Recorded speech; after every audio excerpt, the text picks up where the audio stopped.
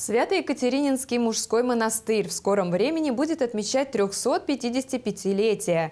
Многое пережила обитель за три с половиной столетия. Особенно трагична ее судьба в 20 веке. Место, где возносились молитвы к Богу, в годы репрессий стало местом гибели и страданий тысячи людей. Чтобы была жива память о тех страшных днях, в обители стараниями Виктора Жирина, одного из послушников монастыря, организован музей – рассказывает Людмила Медведева.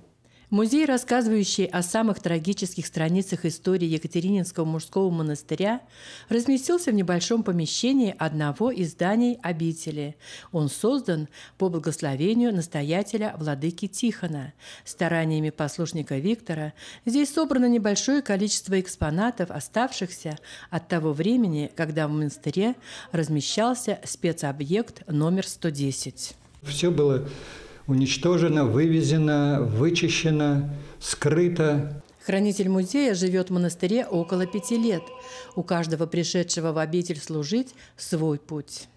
В свое время я закончил университет, мехмат. По специальности я математик-вычислитель. Работал в разных организациях, когда еще до пенсии. Вот. Ну, в том числе ЦАГИ в Жуковском.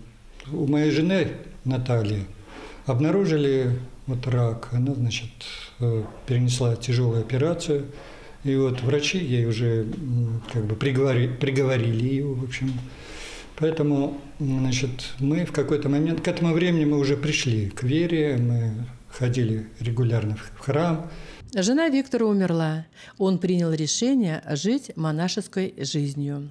Я нашел здесь себе э, вот свое предназначение, свое место, потому что вот э, мне удалось вот здесь организовать и устроить музей.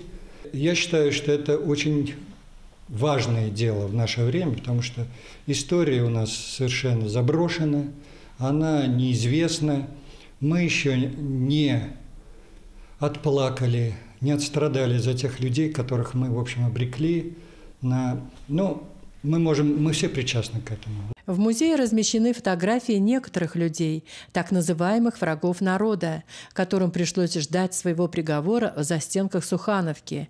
Так окрестили это место жители. В тюрьме содержались наряду с высокопоставленными лицами государства и простые граждане. Картины, скульптурные изображения выполнены самим послушником Виктором. Он имеет к тому же и специальное художественное образование. Чтобы как-то восполнить вот, э, вот эти пробелы, то есть угу. вот отсутствие вот этого вот э, артефактов. Я вот э, изобретаю вот всякие такие возможные эти построения там и инсталляции, которые могли дать вот, представление об этом времени.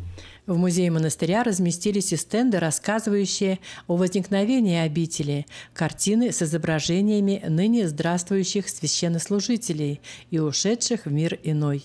Людмила Медведева, Александр Ильин, Наталья Буслаева, Видное ТВ.